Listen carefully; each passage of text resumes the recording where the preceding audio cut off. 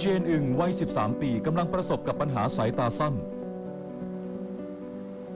เธอเข้าร่วมในการทดลองที่จัดขึ้นโดยมหาวิทยาลัยนิวเซาท์เวลส์ซึ่งใช้คอนแทคเลนส์แบบแข็งที่ออกแบบมาเพื่อแก้ไขสายตาสั้น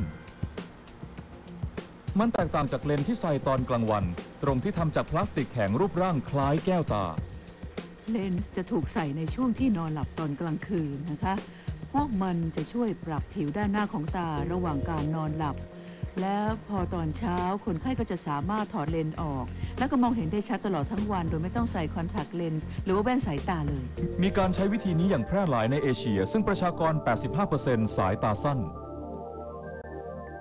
นักวิจัยที่มหาวิทยาลัยนิวเซาท์เวลส์กล่าวว่า มีหลักฐานใหม่ที่น่าสนใจว่าเลนส์สามารถทำอะไรได้มากกว่าการแก้อาการสายตาสั้น เมื่อใช้ตั้งแต่ยังเป็นเด็กเลนส์อาจช่วยป้องกันไม่ให้เกิดสายตาสั้น นักวิจัยกำลังรับสมัครเด็ก 50 คนที่มีเชื้อสายเอเชียตะวันออก เพื่อนำมาทดสอบเลนส์ความตื่นเต้นของการวิจัยใหม่นี้ คือมีความเป็นไปได้ว่าหากเราใช้เลนส์เหล่านี้กับพวกเด็กๆ ก็อาจจะช่วยชะลอหรือกระทั่งหยุดยั้งการเกิดอาการสายตาสั้นได้ค่ะนักวิจัยจะเฝ้าสังเกตคนไข้เป็นเวลา 12 เดือนเผู้ดูว่าเลนส์มีประสิทธิภาพมากแค่ไหน ในการแก้ปัญหาสายตาสั้น เจียนอึงต้องการจะมีส่วนในการทดลองนี้ โดยเฉพาะอย่างยิ่งเมื่อสายตาของเธอสั้นลงเรื่อย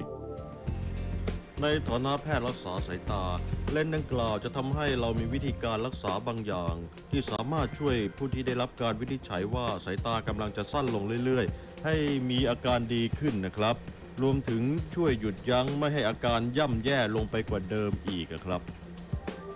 รูปร่างของในตาทั้งสองข้างจะถูกวัดอย่างละเอียดเพื่อนำไปสร้างเป็นเลนส์สำหรับแต่ละข้าง หากการทดลองประสบความสำเร็จวิธีนี้จะถูกนำไปใช้อย่างแพร่หลาย